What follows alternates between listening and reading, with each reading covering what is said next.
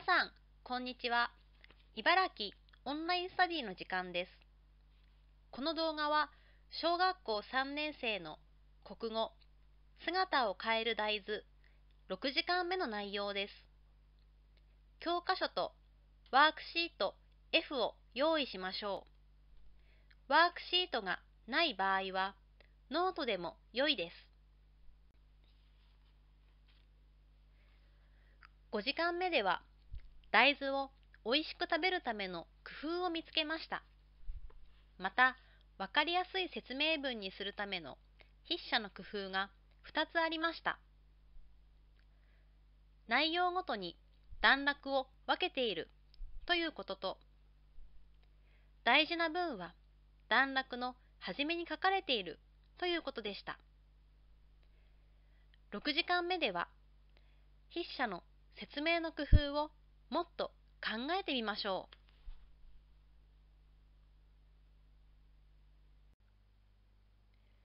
筆者の国分さんはたくさんの工夫をしています。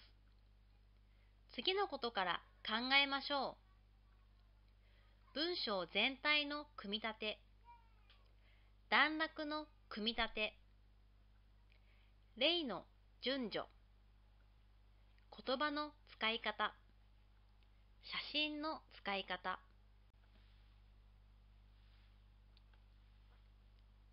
まずは文章全体の組み立てはどうなっていましたか ?3 時間目に学習しましたね。はじめ、中、終わりの構成になっているので、わかりやすい説明文になっていました。ワークシートの文章全体の組み立ての下の四角に書きましょう。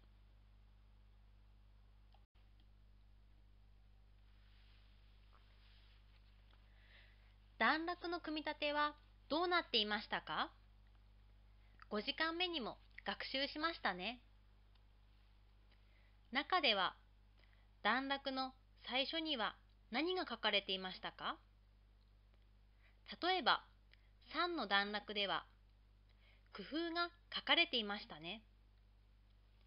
その後には何が書いてありましたか？作り方が書かれていましたね。どの段落も工夫、作り方の順になっています。ワークシートに書きましょう。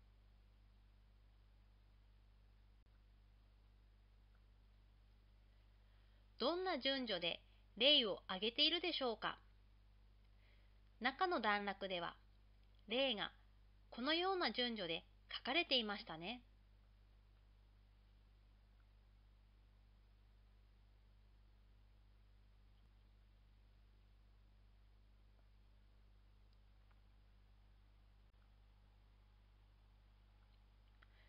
どんな順序で例を挙げているかを考えましょう。ワークシートの括弧に当てはまるのはどんな言葉でしょうか？一緒に考えていきましょう。7の段落はこれらの他にと書いてあり作り方の例は3から6の段落に書いてあるので3から6について考えましょう。例えばみんなが知っている順でしょうか？形が残っている順でしょうか？手間がかからない順でしょうか？みんなが知っている順だとすると知っている順だと人によって違うかもしれません。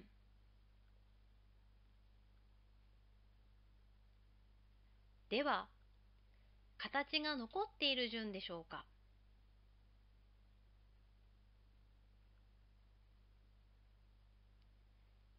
納豆はもっと前に出てくるはずですね。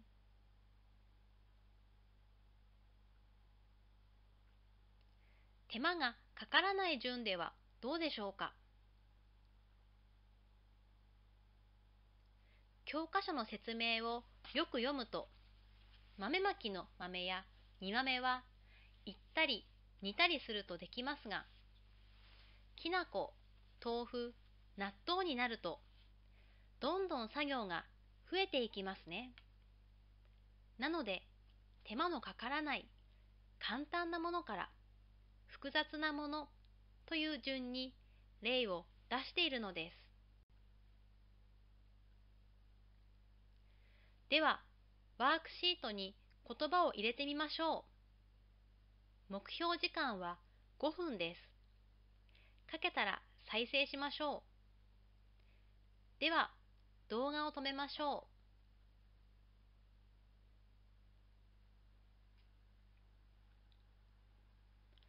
う。ワークシートにはこんな風に書くことができそうですね。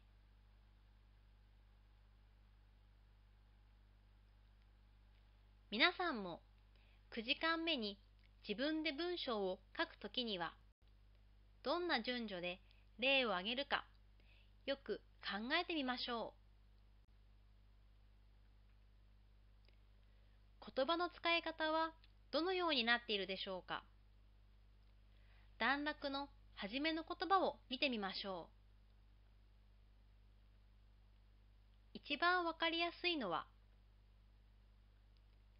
次になどの言葉がありました。このような言葉は何と言いますか？順序を表す言葉ですね。他の段落にもあるでしょうか？ここで動画を止めて探して見つかったら教科書に線を引きましょ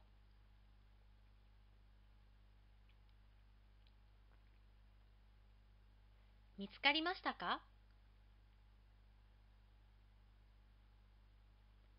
また、さらに、これらの他にという言葉もありましたね。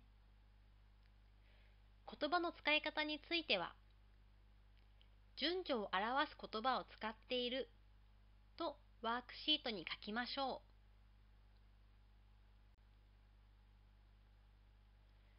写真の使い方はどうなっているでしょう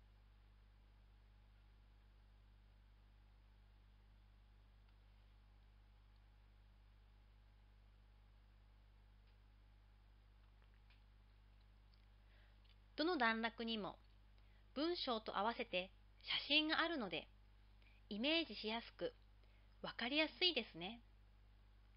写真の使い方については文章と合っていてイメージしやすいとワークシートに書きましょ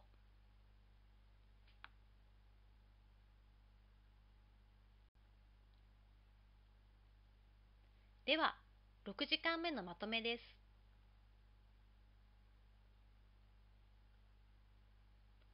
はじめ、中、終わり。工夫、作り方の順。簡単から複雑の順。順序を表す言葉を使っている。